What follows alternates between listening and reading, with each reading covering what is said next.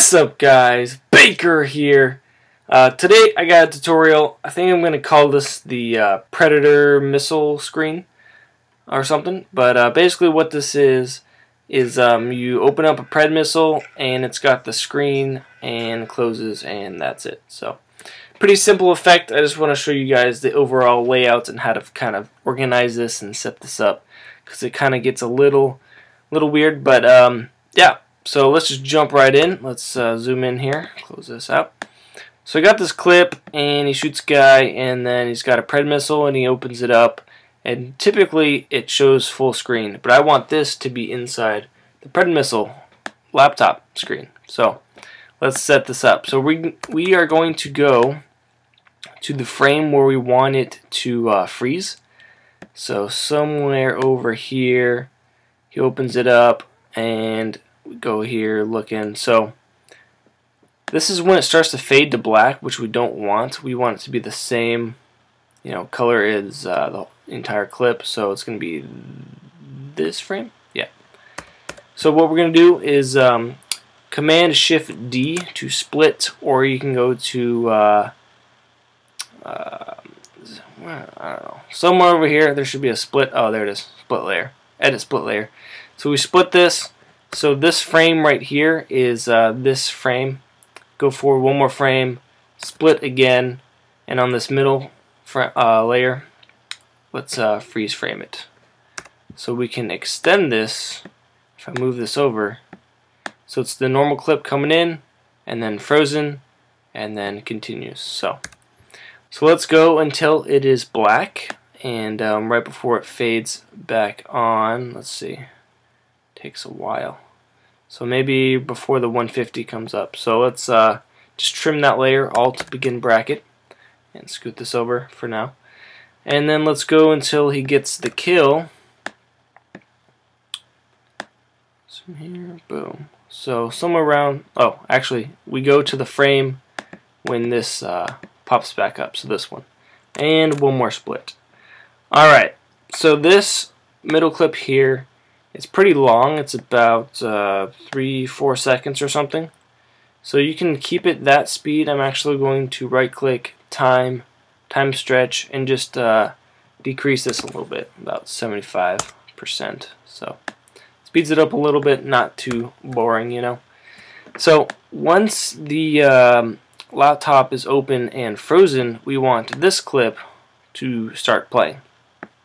So what we're going to do is instead of masking the uh, top clip here of this, we want to use a track matte. Now if you haven't seen my track matte tutorial, um, that's okay. I'll just go through the steps anyway, but go ahead and check that out if you've never heard of track mattes. So, we're going to uh, look at this frozen layer, turn your matte off so you don't see it, go to full res here, take your pen tool and basically just draw where the screen should show up. So I'm going to start this and then I'm going to fast forward so you guys don't have to uh, watch me uh, rotoscope this and stuff. So yeah, see you guys in like two seconds.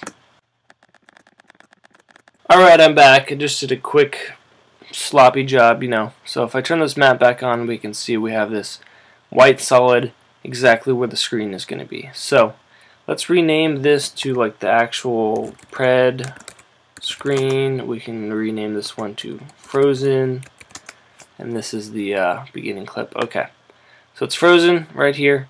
Let's also trim the matte layer to line up exactly with uh, the frozen part and put the pred screen actually let's put this up there okay so pred screen is right below the track matte and we're going to toggle your switch and mode until you see track matte here. And we're going to use uh, alpha matte I think. Is it alpha matte oh let's turn that back on. Yeah there we go. So you can see opens up and this clip inside only shows up where that white solid was. So we can extend the frozen part until the end of this pred missile clip. Comes in now right when this ends, let's bring the uh, rest of the clip over so it'll just close off. Now they don't line up perfectly. That's okay. You can add a little bit of a twitch or something to kind of blend the layers together.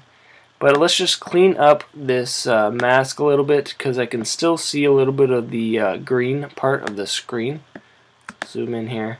So it looks a little gross. So on the matte layer, MM, feather this maybe, I don't know, 2 pixels and expand it 2 pixels?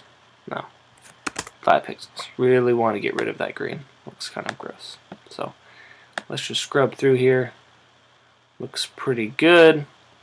So what's cool about using a track matte is this pred screen I can move anywhere where I, where I want. So that's cool. So I can scale this down I wanted to to actually get pretty close to the size of the screen if you want to show more detail.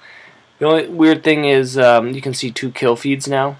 So what I did is I just kept it 100%, you know, didn't move the layer or anything, but just know that you can move it, and that's uh, that's kind of cool. Gives you a little bit more freedom. Um, yeah, that's pretty much it. It just goes forward and then uh, closes. That's cool. So pretty simple effect. I like it. I've used it a couple times. So now you can uh, add screens to your Pred Missile laptop, or you know you can uh, put any video you want. You know, maybe like a transition into the next clip. He's watching himself run around. I don't know, whatever you want. So yeah, I hope you enjoyed. Hope you learned something. Be sure to like and favorite. Comment if you have any questions. Hit me up on Facebook and Twitter. If you make any cool edits using this effect, feel free to post them in the description or uh, in the comments or whatever. And yeah, that is it. All right, peace.